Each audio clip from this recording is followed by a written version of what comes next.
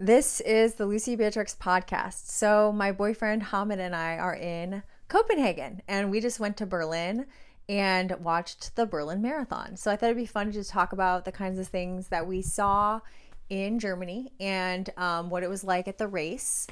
Sadly, I wasn't running the race. Um, I was supposed to, but my um, I have this injury injury that's been nagging me for the past month and a half, and so we just watched and um that said, it was a lot of fun.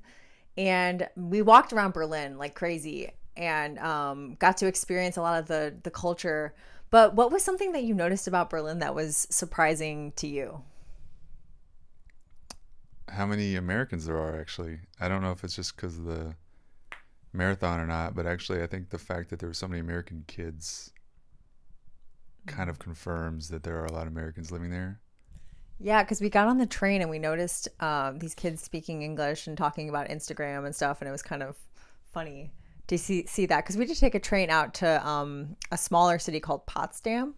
Um, but so that said, we were there for the marathon. There were a lot of Americans in town, probably to watch the marathon, um, including a bunch of my friends. And um, the thing about the course at, in Berlin is that it's really flat. It's really conducive towards PR. So the the record was set for the marathon for women, and um, that's because it's a really optimal course for for fast times.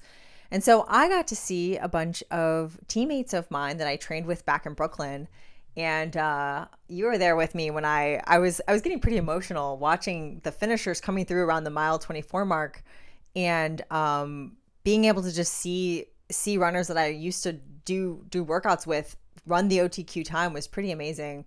But at the same time, it's it's bittersweet because um, with my injury, it's just been like kind of a just this like mental battle, like seeing what I want to be doing and being face to face with the thing that I really want to be doing and then not being able to do it.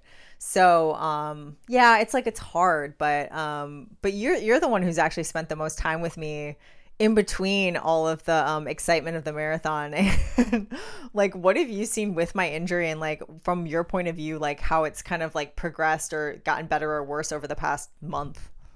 Hmm. Seems to be kind of up and down with sometimes you feel pain and you like try out running.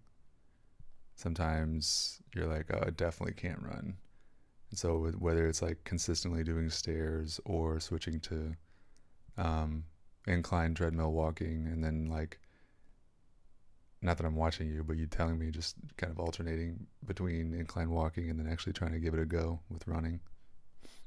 Yeah, and like as like I feel like there should be this whole thing of like the boyfriends of injured runners where they just like have to listen to like you know any injured runner out there knows what it's like like you're going home and you're telling your partner about like, oh, I tried to run today and it seemed like it was going to work and then I have pain now and I'm like limping around. It's just like such a constant battle and um yeah, it's just like this like mental mental thing that I've been trying to navigate but also not lose hope because it's like it's hard for someone like me because I feel like I'm I have done things that I I'm really proud of with running, but I feel so far away from that girl and a year ago who was running these fast times. I'm like I don't even know how I po- I like I physically can't wrap my or mentally can't wrap my head around what I was able to do based on how I feel now with like this injury. So it's pretty um rough, but it's also fun to just like be like kind of outside of the running for a little bit and just enjoying like being on a vacation and like seeing things from a different point of view and actually getting to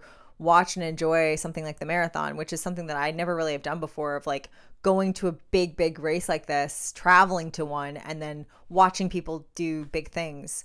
Um, but but while the now that we're in Copenhagen and we're actually like just like walking around and exploring, um, it's it's really interesting to see the difference between Berlin and Denmark and just how rather than like the stark gray, um, not industrial but like the way that Berlin is like a big city, the way like maybe Manhattan or financial district is, Copenhagen doesn't feel like that at all. It's a lot more like of like beautiful buildings and old, old, old architecture and just like so much um so much like beautiful like castles and stuff and it's just like in the city which is pretty unique but so what are we doing tonight we're gonna go What What do you mean eating? Yeah. Actually, I, we are gonna go to this place called Restaurant Tight, but I don't know. I don't know if their menu changes every day or what. But I was just looking at. it. I was like, I don't know if this is as LB friendly as we thought. So I want to look up some plan. What's LB friendly? LB friendly. Have you not talked about this before? No, I just like like that. It's like you call that LB friendly. it's uh you know vegetables and gluten free and relatively low i guess carbohydrates and oil and depending on how you're feeling it may or may not have fish Yeah, exactly. He's got the the Lucie Beatrix diet like down pat at this point. Um after being around it so much. But the funny thing is we got in kind of late last night and then we went to a random grocery store across the street from our hotel that we're staying at and just looking in the aisles of a Danish grocery store and trying to find like things that I feel excited to eat. I found a jar of potatoes that were in like salt water and brine. They were really good. And Hamid got like smoked salmon and um, like a bowl of just different like vegetables and like rice or something. What was it? Was it rice or what was the green? i actually don't remember it was not rice though it was um it wasn't bulgur either but it was some kind of grain thing but with uh edamame and peas which is a weird combination but it was good and some uh, tzatziki basically at the bottom of it Yeah, it was uh, an interesting little makeshift dinner. But like traveling, that's kind of how it goes. Like I had just dried fruit and like nuts and stuff just on the go. But um, yeah, so that's been like what that's been what the trip's been like so far. Just wanted to do a little update on the road episode coming to you from Denmark. And so until next time, just be fast, just win.